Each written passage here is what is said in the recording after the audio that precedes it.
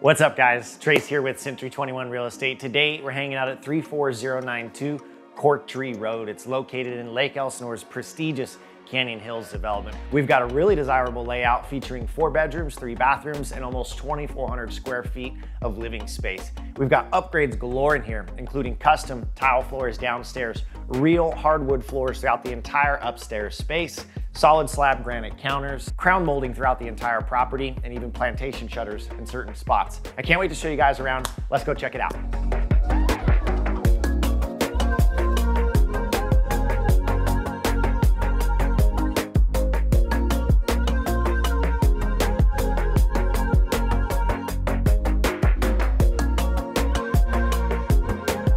One of my favorite features is the single car garage has been converted into a space where you can utilize it for a fifth bedroom, home office, or maybe even some sort of salon or business that you want to operate out of it.